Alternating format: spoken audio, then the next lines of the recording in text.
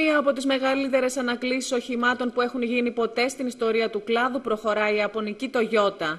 Η μεγαλύτερη αυτοκινητοβιομηχανία του πλανήτη ανακαλεί 6,7 εκατομμύρια αυτοκίνητα παγκοσμίως λόγω πέντε διαφορετικών προβλημάτων που εντοπίστηκαν από τα καθίσματα και το τιμόνι μέχρι το καλώδιο που συνδέεται με τον πλευρικό αερόσακο του οδηγού. Η ανάκληση αφορά μεταξύ άλλων σε μοντέλα Yaris, RAV4 και Hilux, ενώ 825.000 από αυτά βρίσκονται στην Ευρώπη. Σύμφωνα πάντως με την Toyota δεν έχει σημειωθεί κανένα ατύχημα, ωστόσο είχε δύο αναφορές για πυρκαγιές λόγω προβλήματος στον κινητήρα. Στον απόϊχο της ανακοίνωσης η συμμετοχή της Toyota έκλεισε με απώλειες 3,08% στο Ιαπωνικό χρηματιστήριο.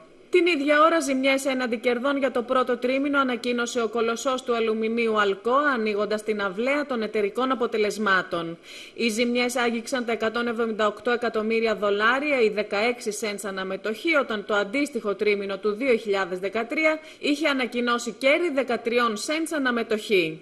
Τα αποτελέσματα ήταν καλύτερα των εκτιμήσεων της αγοράς, ενώ η πορεία τους οφείλεται κατά κύριο λόγο στην υποχώρηση της τιμής του αλουμινίου κατά 8% σε σχέση με το πρώτο τρίμηνο του 2013. Και αν το ενδιαφέρον της Δύσης στρέφεται στα εταιρικά αποτελέσματα πρώτου τριμήνου, οι πάμπλουτοι Κινέζοι σπάνε το ένα ρεκόρ μετά το άλλο για έργα τέχνης, σπάνια αντικείμενα και αναδεικνύονται στην πιο ανερχόμενη δύναμη σε δημοπρασίες που διψά για τέτοιου είδους επενδύσεις.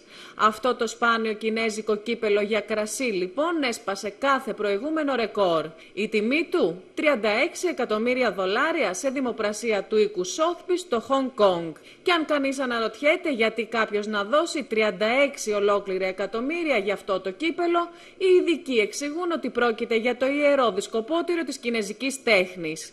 Το κύπελο φτιαγμένο από πορσελάνη είναι διακοσμημένο με κότες και κόκορες και δημιουργήθηκε στα τέλη του 15ου αιώνα την περίοδο της δυναστείας των Μίνκ. Σύμφωνα με τον Νίκο Σόθμπης υπάρχουν μόνο 17 παγκοσμίως με τα 13 να βρίσκονται σε μουσεία και 4 σε ιδιώτες.